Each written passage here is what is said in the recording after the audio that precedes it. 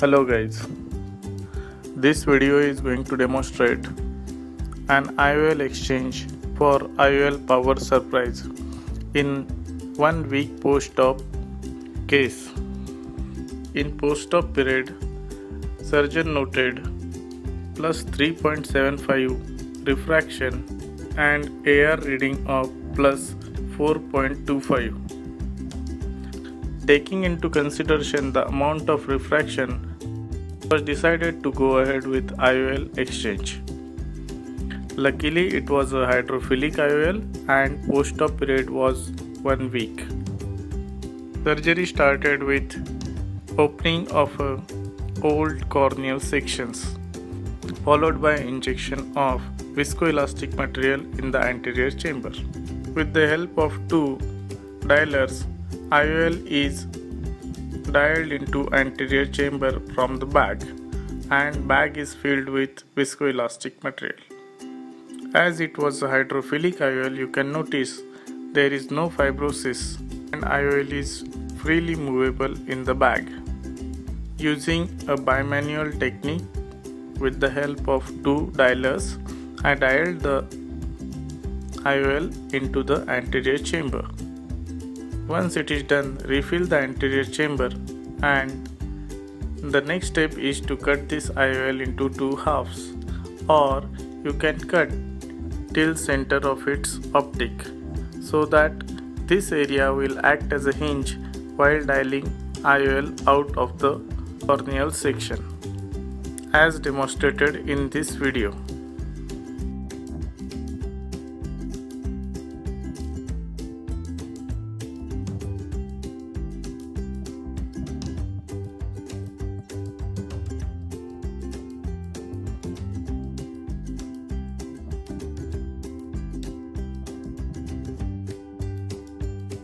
After giving support with left hand dialer and my right hand is having a micro scissor which will help me to cut this IOL till its center.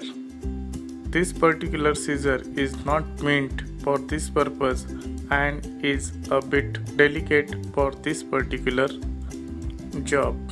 There are sturdy scissors available commercially which you can purchase and keep one in stock. Cutting the hydrophobic IOL is a bit tough as the material is a bit harder and thicker. Though the technique remains same, you may need a bit more sturdy scissor for cutting hydrophobic IOLs.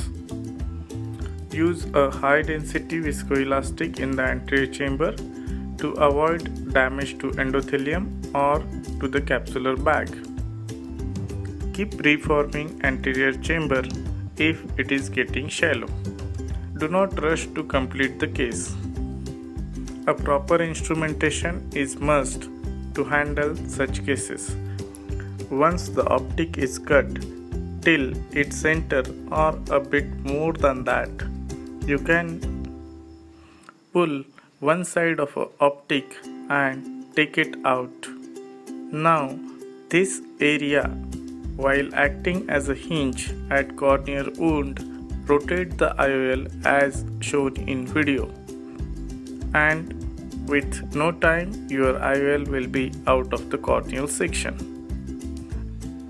Use second proper power IOL and implant it as usual.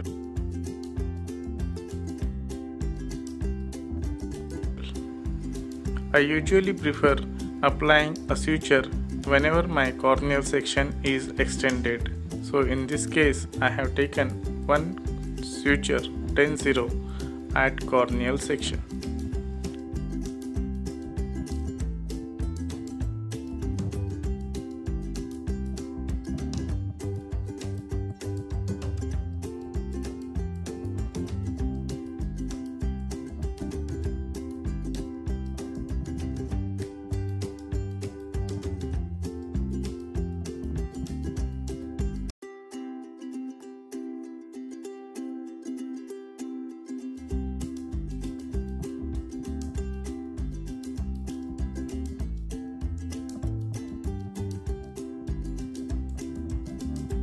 Hope you have enjoyed and understood the technique for IOL exchange.